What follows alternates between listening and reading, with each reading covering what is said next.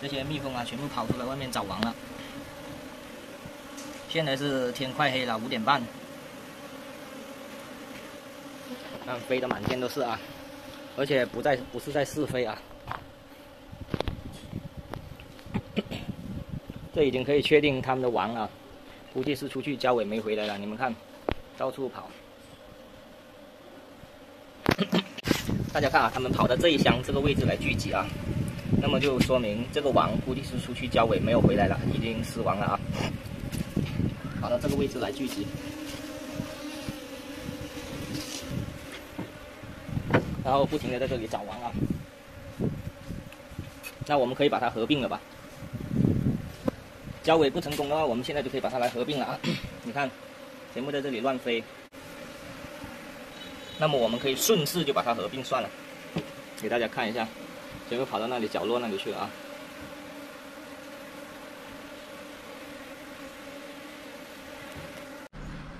现在是差不多六点了，然后飞得乱七八糟的，这种基本上可以确定它交尾不成功的了。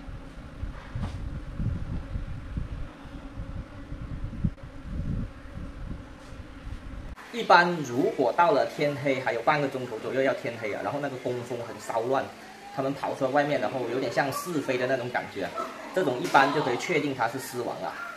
它狮王了之后，它一般它都是在快天黑之前，比如还有半个钟头，或者是四五十分钟就要天黑了啊。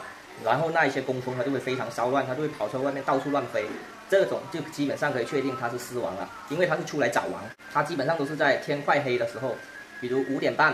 啊，你六点钟天黑是吧？它五点半它就出来了，或者是五点它就出来了，然后在外面不停的到处乱飞，稍微有那么一点像试飞，但是你如果看仔细了，它好像在找什么东西一样，它会飞到隔壁的蜂箱去，然后到处乱趴，这种呢基本上就可以确定它是死亡了。如果你是大白天的，比如中午啊，或者是早上啊，你很难看得出它死亡的。最容易看的就是在下午天黑前一个小时，或者是半个小时。你如果站在那个蜂箱前面，你看到那个工蜂非常骚乱，这种基本上它就是确定它是尸王的了，出来找王。因为天快黑了，王还没回去，所以他们出来找一下。